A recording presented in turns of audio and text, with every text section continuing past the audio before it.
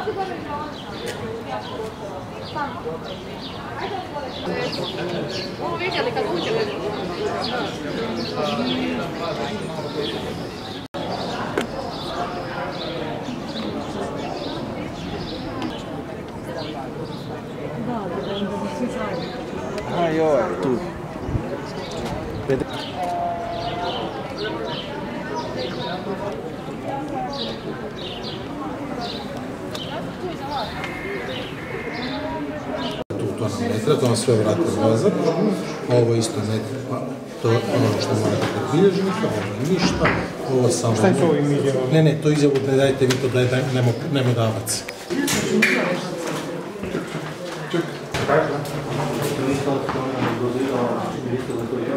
U toj prijavi prvenstveno je bilo da se organizira jedno mjesto susreta ovdje u Cvjetnom, da što manje problema prilikom prikupljanja papira, odnosno isto tako prijave na sam javni poziv. Isto tako saslušali smo i nekakve životne priče koje su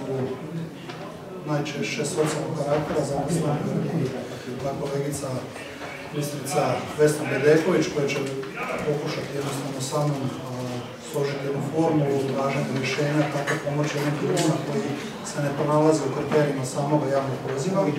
Isto tako, osim životnih priča, dobio sam priliku čuti što je sa ljudima koji su primili naranđastu, odnosno žutu oznaku, koji tvrde da ne mogu biti u svojim objektima, koji, neće biti obuhvaćeni odlukom vlade sanaciji njihovih objekata, nego tvrde da su oni za oznaku crvena, osim treba biti obuhvaćeni ovom odlukom, tako da sam evo obavio razgovor sa predstavnicom grada Zagreba, konkretno sa gospodinom Vlasićem, da vidimo na koji način uopće izvršiti reviziju mogućih nekretnina koji to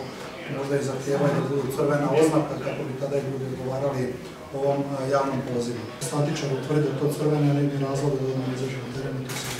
ali oni su sada zbunjeni kome se trebaju, mene se sugrađani pitaju, kome se trebaju javiti da je netko opet pregleda Oni se kod nas javljaju na javni poziv, u samom tekstu javnog poziva kaže se da će Ministarstvo državne imovine službeno ovaj, provjeriti status. Ukoliko se kaže da je prijava naranđasta, mi ćemo provjeriti da li ima elemenata, ako nema odgovorit ćemo rješenje. Nekoliko puta sam naglasio da je riječ o upravnom postupku, znači svako dobijanje rješenje ima i one sve pravne prije svega iskoristila bih prigodu zahvaliti na suradnji Ministarstva državne imovine, ali jednako tako i Studentskom centru Cvjetno na svim dosadašnjim razmjenama informacija. Reći ću da od početka, kada su evo, građani grada Zagreba koji su pogođeni potresom smješteni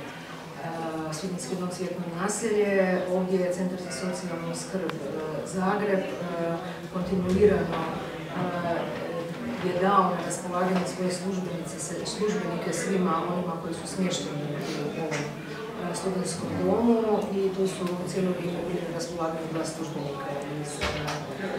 nadležnog e, centra za socijalnu skrb i doista cijelo vrijeme je jedna kontinuirana suradnja i sukladno podacima koje do sada imamo, dakle naše ministarstvo koje vodi brigu skrb o socijalno najugroženijim skupinama je E, do sada ovdje imao dakle, upućene, upućeno 19 stalnih zajamčenih minimalnih naknada, dakle ono stalno dakle, socijalno primanje i jednako tako 69 jednokratnih upućenja. Možda samo ono što je važno za reći, nastavno na ovo što sam do sad rekla, što se tiče E, svih prava i naknada u sustavu socijalne skrbi, dakle bez obzira i na potres i na epidemiju koronavirusa, niti jedno pravo e, i naknada iz sustava socijalne skrbi nije bilo uskraćeno, niti će biti uskraćeno.